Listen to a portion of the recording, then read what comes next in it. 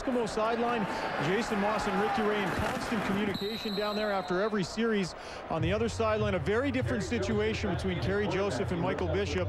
Uh, the two have barely said a word to each other all night long, and after each series, Joseph comes off and has a chat with the offensive coordinator, but very little interaction on one sideline. Well, there you can see Jason Maas and Ricky Ray. Now, obviously, different situations. Ray and Maas are really good friends off the field, and everybody knows about the tension happening on the Argo sideline, but still, it seems their working relationship is somewhat strained. And as you can see, Kerry Joseph back in. Second and three on the roll. Throws the completion to Satut. So you know, and that's that's a great point by Ryan, and, and one that the quarterback that's playing in the game needs the extra set of eyes. I mean, this is something that has to be resolved for the Toronto Argonauts to move forward, without question. I mean, you cannot go to the sideline and not get help from the backup quarterback and say, here's what I saw, you know, and that's, these guys have to start learning how to work together.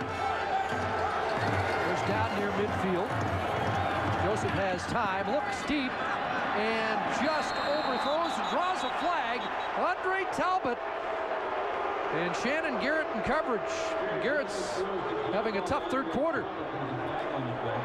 You know, Garrett's timing may have just been off slightly. He went over the top to try and knock this ball down, and I think he was a split second ahead of it. It, did, it wasn't. Didn't look like any pushing going on. 23. Take, take a look again. Andre Talbot, inside move, okay? So he makes Shannon Garrett do a speed turn. A little tiny grab there, that's nothing.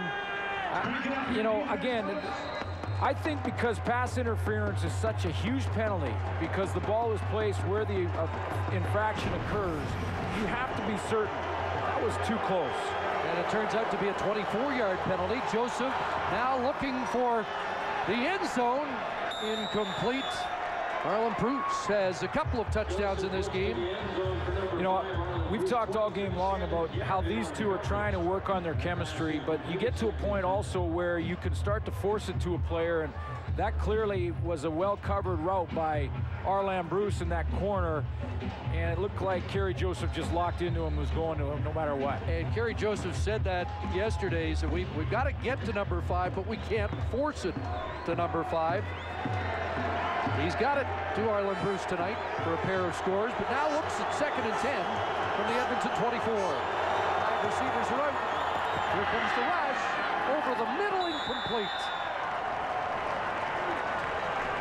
And I think, and I, again, I, I'm not so sure that Arland Bruce didn't slip or, or hesitate going across the middle, because again, that's where Joseph was looking And he was, his receiver, Arland Bruce, was nowhere to be seen. I think he kind of slipped across the middle.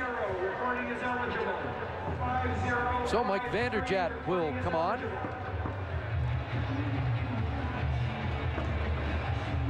And he will size up a 32-yard field goal attempt.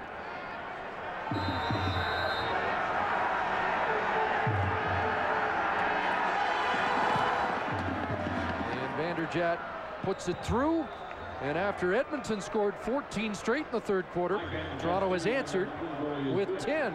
Yeah, I was going to say that even though you could see that offense, Kerry Joseph moved the ball a little bit and had some problems down in this area, but in the scoring area, but they did respond. I mean, those two big plays, an interception for a touchdown, one of the biggest plays in football other than a block punt. And then a punt return for a touchdown can bury a team can demoralize a team. But the Argos have fought back. Bishop for a couple of series. Kerry Joseph back for that last series for a field goal.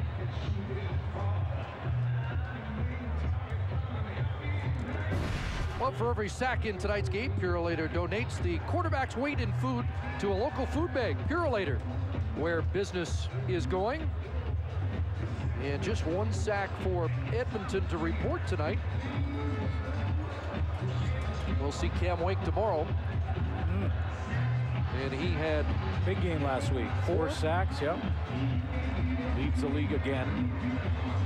Well, there was some criticism after week one for the BC Lion defensive line, and Cameron Wake said, uh, uh, enough of that.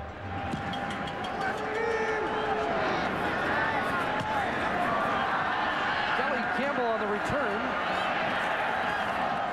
And he's pulled down at the 33-yard line. Richard Siegler makes a special teams tackle. And Ricky Ray, who's had a quiet third quarter, back onto the field with just over two minutes left. First and 10. Boy, the last four games against these two, when these two teams played, it's been Toronto winning all four. You mentioned off the top, Chris, and through those four games, Danny Maciocia's squad has always had better stats. Throwing the ball for more yards. They've, they've had the time of possession stats, but they haven't won.